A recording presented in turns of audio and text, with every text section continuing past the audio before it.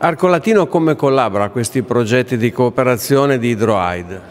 Ah, la, la primera cosa que tenemos que decir es que respondemos a una demanda La prima cosa da dire è che Arco Latino risponde a una richiesta della città metropolitana, molto sensibile al tema dei cambiamenti climatici e agli effetti che hanno sull'acqua, uno degli elementi base per uno sviluppo sostenibile. Credo che questo possa essere l'inizio di un dialogo interessante tra l'Europa sviluppata e l'Africa che deve ancora svilupparsi.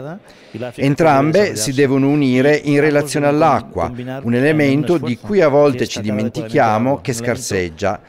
Il problema dell'acqua è anche uno degli obiettivi delle Nazioni Unite nell'agenda del 2030.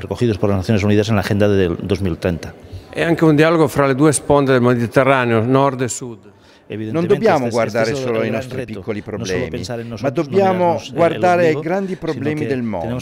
Le amministrazioni locali, la città metropolitana, Arco Latino, che rappresentano le amministrazioni intermedie dell'arco mediterraneo, sono le prime ad essere preoccupate nel riconoscere il problema e a provare ad affrontarlo a partire dal proprio territorio.